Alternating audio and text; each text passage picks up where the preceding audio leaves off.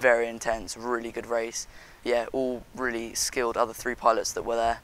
And yeah, just trying to match their performance is really difficult and I'm quite happy with where I came before you put your goggles on, it is a massive pressure, and you know there's a lot of people watching. But you get about halfway through the race, and then you know, I'm in my own zone now. I just got to fly. And that is a really good feeling when that just clicks. Try stay in the air and other people, if they're going to crash, then you know that if you finish that you're, you know, going to do a bit better and just, yeah, stay consistent, don't crash. I can't wait to go and fly outside now. I see a lot of people in races just getting freaked out and they're like, oh God, I'm shaking. And I just was like, right, okay, I'm on my kitchen table, just changing a motor, changed the motor, tested it, raced, and it was all good. So yeah, just take your time and relax and you'll be good.